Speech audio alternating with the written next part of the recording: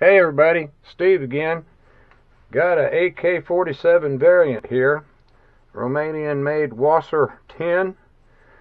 I'm going to show you how to field strip this thing real quick, the way I've figured out how to do it, and make it easy on myself. Let's get right into it. Let's get the clip out of here. Nothing in it. Okay, this gun is easy. And you take, put your thumb right here on the button. Give the cover a lift off. Go ahead and put your thumb right there on the recoil spring. Pull your bolt carrier out. There's your, turn your bolt counterclockwise all the way. Pull it out.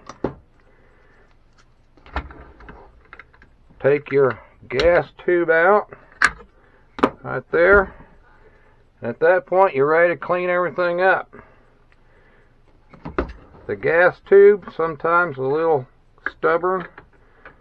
There's a little cam here. So you take your thumb on that cam and have to wiggle it a little bit to get it back in place sometimes. Pop your lock back down. And this thing's already lubed up and cleaned. On mine, I will clean it all up. Anything that's dirty, I clean. Most people know how to clean a gun. They're just looking here to figure out if they forgot how to do it. And you can release the hammer the trigger group and lube everything up. You can probably just as well do it with it all down. That one needs a little touch because I've handled it with my thumb. I put a little lube back on the hammer. I got a little mix of molybdenum di disulfide with about 50% or about equal parts uh, molybdenum disulfide and oil mixed together. Kind of makes the non-fluid oil like we used to have many years ago. You don't see anymore. And you lube everything up, all your friction points. Now you put your bolt back in your bolt carrier, turn it all the way clockwise till it stops. And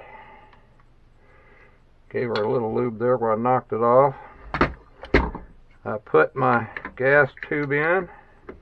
Now you've got, right here, you got your points where your keyway goes down into that. So with your bolt carrier all the way turned clockwise looking at it, gas tube in, get it all back, all the way in there where it, the keyways are. Then I just take and push the bolt up with my thumb so it'll go all the way in.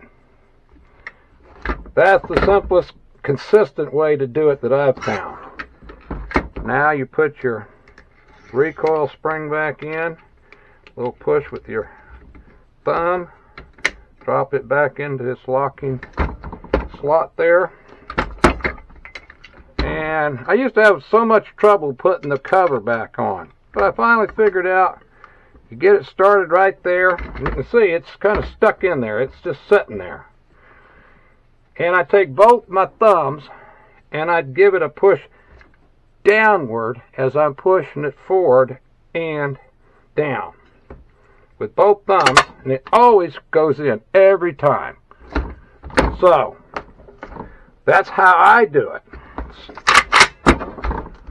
I hope that helped you out. If it did, thinking about think about uh, ringing the bell and giving it a thumbs up, and kind of cheers me up when people subscribe to my channel. So, anyway, have a nice day.